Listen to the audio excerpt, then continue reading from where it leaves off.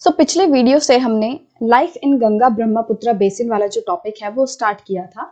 और उस वीडियो में हमने बेसिकली जाना था कि ये एरिया कहाँ पे लाई करता है। गंगा रिवर की क्या क्या ट्रिब्यूटरीज है ब्रह्मपुत्र रिवर की कौन कौन सी ट्रिब्यूटरीज हैं यहाँ का क्लाइमेट कैसा है तो ये सब चीज़ें हमने पिछले वीडियो में डिस्कस की थी। अब उसी टॉपिक को कंटिन्यू करते हुए हम इस वीडियो में पढ़ेंगे कि गंगा ब्रह्मपुत्र बेसिन जो है वहाँ पे किस जगह पे ज़्यादातर लोग रहते हैं? लोग माउंटेन्स में रहते हैं कि प्लेन्स में रहते हैं? यहाँ पे कौन कौन सी फ़सलें हैं जो वो उगाई जाती हैं? तो ये सभी चीज़ें हम इस वीडियो में पढ़ेंगे। The basin has varied type topography topography क्या होता है? टोपोग्राफी मतलब कि लैंड के जो भी फ़िज़िकल फीचर्स हैं, ज़मीन के ऊपर जो भी पहाड़, नदियाँ लेक्स रिवर्स मतलब ये सभी चीज़ें क्या होती हैं? टोपोग्राफी होती हैं। तो ये जो गंगा ब्रह्मपुत्र बे, बेसिन है यहाँ पे बहुत अलग अलग तरीके के हमें फ़िज़िकल फीचर्स देखने मिलेंगे। यहाँ पे पहाड़ भी हैं नदियाँ भी हैं प्लेन्स भी हैं तो अलग अलग फीचर्स जो है वो हमें देखने मिलते हैं। The environment plays a dominant role in the distribution of the population अब किसी पर्टिकुलर जगह पे कितने ज़्यादा लोग रहेंगे या फिर कहीं पे लोग रहेंगे भी या नहीं रहेंगे ये सब चीज़ें जो हैं वो सब डिसाइड करने में एनवायरमेंट एक बहुत ही इंपॉर्टेंट रोल प्ले करता है। कैसे इंपॉर्टेंट रोल प्ले करता है? जैसे कि the mountain areas with steep slopes have inhospitable मतलब कि पहाड़ों की जो स्लोप्स होती हैं, ये पहाड़ हैं, ठीक है? अब, अगर ये पहाड़ एकदम इस तरीके के होंगे, ऐसे, अब इन पहाड़ों पे तो कोई नहीं रह सकता, यहाँ पे लोग कैसे घर बनाएँगे? अगर इनकी ये जो ढलाने हैं, ये फिर भी कुछ ऐसी हो तो फिर भी यहाँ पे लोग जो है आराम से घर बना सकते हैं। बट अगर इस तरीके के स्टीप स्लोप्स होंगी, मान लो पहाड़ों की, इतनी ज़्यादा स्टीप होंगी तो क्या लोग यहाँ पे घर बना पाएँगे? नहीं बना पाएँगे। तो देखो इस जगह पे लोग बहुत कम रहेंगे फिर। और इसके मुकाबले ये वाले जो पहाड़ है इन पे ज़्यादा लोग रहेंगे। तो इस हिसाब से जो एनवायरमेंट है वो एक इंपॉर्टेंट रोल प्ले करता है। ठीक है? Therefore, less number of people live in the mountain areas of the Ganga Brahmaputra basin. अब क्योंकि जो माउंटेन वाला एरिया है वो लोगों के रहने लायक इतना ज़्यादा सुविधाजनक नहीं होता। तो इसीलिए लोग क्या करते हैं यहाँ पे बहुत ही कम रहते हैं। The plain area provides the most suitable land for human habitation वही जो प्लेन एरियाज़ होते हैं, जो समतल ज़मीन होती हैं, ऐसे होती हैं। ये वाले जो एरियाज़ होते हैं, ये लोगों के रहने के लिए बहुत ही ज़्यादा उचित होते हैं राइट होते हैं। यहाँ पे लोग आसानी से रह पाते हैं। यहाँ पे घर भी हम आसानी से बना लेते हैं। घर बनाने में भी कोई दिक्कत नहीं आती हमें। हम यहाँ पे खेती बाड़ी भी आसानी से कर लेते हैं।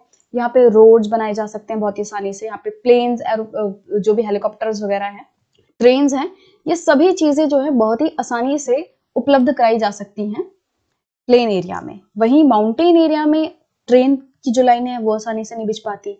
रोड्स के रोड्स जो है, वो आसानी से नहीं बिछ पाते। तो मतलब बहुत सारी दिक्कतें होती हैं। इसीलिए गंगा ब्रह्मपुत्र बेसिन में जो भी पहाड़ वाले इलाके हैं, वहाँ पे लोग कम रहते हैं और वहीं जो प्लेन्स हैं, वहाँ पे लोग बहुत ज़्यादा रहते हैं। The soil is fertile. अब क्योंकि चारों तरफ़ नदियाँ ही नदियाँ हैं, ठीक है? तो यहाँ की जो सॉइल है, वो क्या है? फर्टाइल होती है। हमें पता है कि यहाँ पे क्या होता है? एलोवियल सॉइल होती है। कि जब नदियाँ बहती आती हैं, बहती आती है और बीच में कभी बाढ़ आ जाती है तो क्या होता है? नदियों का पानी ओवरफ्लो हो जाता है और जब पानी ओवरफ्लो होकर आसपास के इलाकों में गिरता है, तब वो वहाँ पे जो कंकड़ होते हैं, मिट्टी होती है, जो मिट्टी के छोटे छोटे कण होते हैं फर्टाइल सॉइल होती है, वो छोड़ देता है। ठीक है? जब पानी कम हो जाता है तो पूरा पानी ज़मीन से लौट के वापस नदी में आ जाता है और वो जो कण थे, वो वापस से ज़मीन पे बैठ जाते हैं। ठीक है? कि ये नदी थी, ठीक है, ये ओवरफ्लो हुई, इसकी वजह से पानी जो है यहाँ यहाँ तक भी चला गया। ठीक है, पानी यहाँ तक जाएगा तो क्या होगा, यहाँ पे कन बैठ जाएँगे मिट्टी के और पानी वापस यहाँ पे आ जाएगा बट जो कन है वो यहीं रह जाएँगे। तो इस वजह से क्या होता है, ये वाला पूरा जो एरिया है गंगा ब्रह्मपुत्र बेसिन, ये बहुत ज़्यादा फर्टाइल सॉइल वाला एरिया है। Right agriculture is the main occupation of the people where flat land is available to grow crops तो जहाँ पे भी फ्लैट लैंड अवेलेबल होती है, पानी अच्छा अवेलेबल होता है, यहाँ पे फर्टाइल लैंड है तो ये सभी कंडीशंस जो हैं एक एग्रीकल्चर को और ज़्यादा बढ़ावा देती है प्रमोट करती है कि इस सुटेबल कंडीशन में एग्रीकल्चर लोग परफॉर्म करते हैं। कि यहाँ देखो आप, नदियाँ ही नदियाँ हैं, पानी की कोई कमी नहीं होगी यहाँ पे। सॉइल जो है वो फर्टाइल है, हर बार सॉइल जो है वो न्यू होती रहती है रिन्यू होती रहती है। मॉनसून टाइप क्लाइमेट है, यहाँ बारिश की भी इतनी ज़्यादा प्रॉब्लम नहीं होती तो इस वजह से क्या है यहाँ पे लोग एग्रीकल्चर मतलब कि खेती बाड़ी करते हैं। लैंड भी प्लेन है, कि पहाड़ों में फिर भी खेती बाड़ी करने में थोड़ी दिक्कत आती है बट प्लेन एरिया में एग्रीकल्चर बहुत अच्छे से हो जाता है। तो इसीलिए ज़्यादा से ज़्यादा जो लोग हैं इस एरिया में, गंगा ब्रह्मपुत्र बेसिन में, वो क्या करते हैं, वो खेती करते हैं। The density of the population of the plains is very high अब जैसा कि हम बात कर रहे हैं कि माउंटेन्स वाले इलाके में रहना थोड़ा मुश्किल होता है, वहाँ पे सारी जो चीज़ें हैं, वो उपलब्ध नहीं कराई जा सकती, है ना? तो क्या होता है कि जो प्लेन वाला एरिया है, वहाँ पे सभी चीज़ें काफ़ी आसानी से उपलब्ध हो जाती है। वहाँ पे रहना बहुत ही ज़्यादा अच्छा होता है इजी होता है। तो इसलिए वहाँ पे जो डेंसिटी है पॉपुलेशन की प्लेन एरिया में जो डेंसिटी है पॉपुलेशन की, वो बहुत ज़्यादा होती है। अब पॉपुलेशन डेंसिटी क्या होता है? It means the number of person that live in one square kilometre of area population density मतलब क्या होता है? मान लो ये एक स्क्वायर किलोमीटर का एरिया है, ठीक है? एक मतलब यहाँ से भी एक किलोमीटर, यहाँ से भी एक किलोमीटर, यहाँ से भी एक किलोमीटर, यहाँ से एक किलोमीटर, ठीक है? एक स्क्वायर किलोमीटर का ये एक एरिया है। अब इस एरिया में कितने लोग रहते हैं? वो होगा उसकी पॉपुलेशन डेंसिटी मान लो कि एक, कुछ लोग यहाँ रहते हैं, मान लो ऐसे करके। यहाँ पे मान लो एक किलोमीटर में मान लो सिर्फ़ और सिर्फ़ 500 लोग रह रहे हैं। बहुत कम है, ठीक है? एक किलोमीटर के एरिया में 500 लोग रह रहे हैं मान लो। तो इसका मतलब इसकी डेंसिटी बहुत कम है, ठीक है? और यही मान लो पाँच हज़ार लोग रह रहे हैं। इसका मतलब इसकी डेंसिटी ज़्यादा है कि यहाँ पे पाँच हज़ार लोग एक किलोमीटर के एरिया में रह रहे हैं। ठीक है? तो पॉपुलेशन डेंसिटी क्या होता है कि जब एक स्क्वायर किलोमीटर ऑफ़ एरिया में कितने लोग रह रहे हैं that is population density right the population density of Uttarakhand is 189 while the density of Bengal is 1029 and that of Bihar is 1102 अब इसमें क्या है कि ये बता रहे हैं कि उत्तराखंड की जो पॉपुलेशन डेंसिटी है, कि मतलब उत्तराखंड में ऑन एन एवरेज एक किलोमीटर एक स्क्वायर किलोमीटर में कितने लोग रहते हैं? 189 ये ऑन एन एवरेज होता है कि लगभग इतने होते हैं कि 189 लोग एक स्क्वायर किलोमीटर के एरिया में रहते हैं। अब हो सकता है कहीं पे 200 भी रह रहे हो, कहीं पे तीन से भी रह रहे हो और कहीं पे 50 भी रह रहे हो। तो ये एवरेज सा निकाला जाता है कि एक स्क्वायर किलोमीटर में कितने लोग रह रहे हैं, ठीक है? तो ये देखो 189 बहुत ही कम है। वहीं वेस्ट बंगाल की बात करें तो यहाँ एक हज़ार उनतीस लोग हैं मतलब कि एक स्क्वायर किलोमीटर में one thousand and twenty nine people on an average रहते हैं। और बिहार में कितना है? ग्यारह सौ दो। इलेवन हंड्रेड टू पीपल जो हैं, वो एक स्क्वायर किलोमीटर के एरिया में रहते हैं। तो अब आई होप कि आपको पॉपुलेशन डेंसिटी में कंफ्यूजन नहीं है। तो प्लेन्स एरिया की जो पॉपुलेशन डेंसिटी होती है, वो बहुत ही ज़्यादा होती है। अब उत्तराखंड में देखोगे पहाड़ी पहाड़ है वहाँ पे। ठीक है, वो पहाड़ी इलाका है। तो यहाँ पे कितनी कम डेंसिटी है? सिर्फ़ लगभग 189 लोग रहते हैं एक स्क्वायर किलोमीटर में। और वही बंगाल बिहार वाला जो एरिया है वो फिर भी थोड़ा प्लेन एरिया है।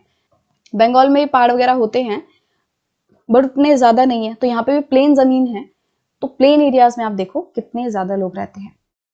The main crop is paddy Since cultivation of paddy requires sufficient water, it is grown in the areas where the amount of rainfall is high.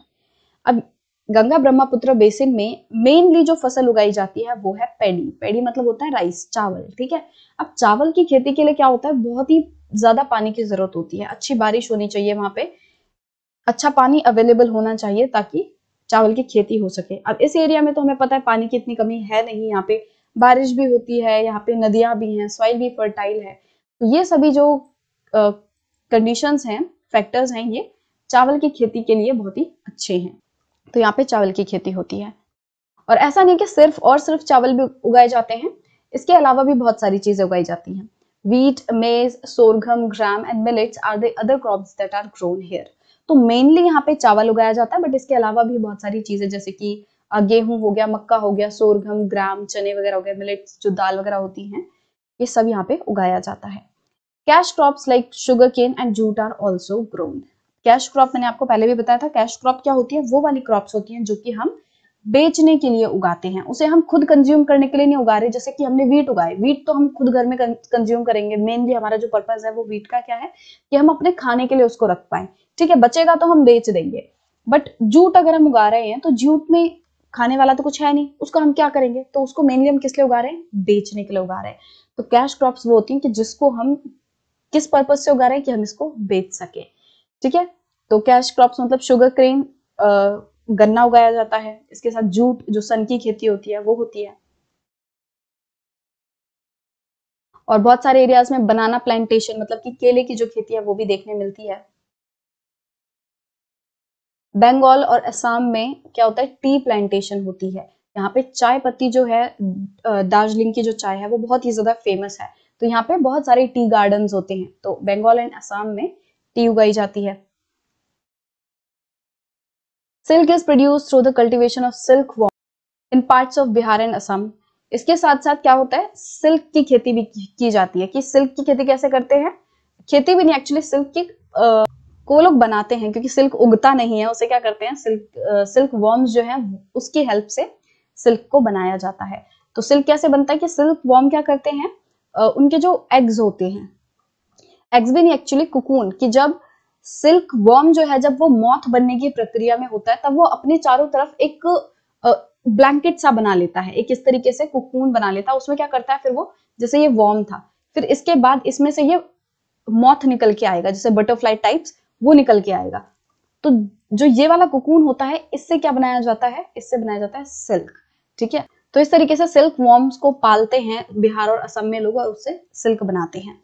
In the mountains and hills where the slopes are gentle crops are grown on terraces अब पहाड़ी वाले इलाकों में जहाँ पे slopes gentle है मतलब कि एकदम स्टीप नहीं है। स्टीप हो गई, एकदम ऐसे ही, बताओ, यहाँ पे कोई चल भी नहीं पाएगा, कोई कुछ भी नहीं कर सकता। बट जहाँ पे स्लोप्स इस तरीके की है, ऐसे जेंटल है। अब यहाँ पे लोग खेती आराम से कर सकते हैं। टेरेस फ़ार्मिंग होती है कि सीढ़ी नुमा जो खेती होती है, ऐसे करके, कि पहाड़ को इस तरीके से काट लिया और फिर इस पे खेती हो रही है। या यहाँ पे उगा सकते हैं वो लोग, इन टेरेसेस पे फिर वो लोग खेती करते हैं, उगाते हैं। तो इस वीडियो में हमने जाना कि जो गंगा ब्रह्मपुत्र बेसिन है, उसमें प्लेन एरियाज़ में सबसे ज़्यादा लोग रहते हैं। क्यों? क्योंकि माउंटेन एरियाज़ में इतना ज़्यादा कन्वीनियंट नहीं होता रहने के लिए। ठीक है, फिर प्लेन्स एरियाज़ में सबसे ज़्यादा लोग रहते हैं। डेंसिटी बहुत ही ज़्यादा है पॉपुलेशन की प्लेन्स एरियाज़ में। और यहाँ पे मेनली क्या क्रॉप्स उगाई जाती हैं, ये सभी चीज़ें हम हमने इस वीडियो में देखी है। अब नेक्स्ट वीडियो में हम वेजिटेशन एंड वाइल्ड लाइफ ये सब की बात करेंगे, ठीक है?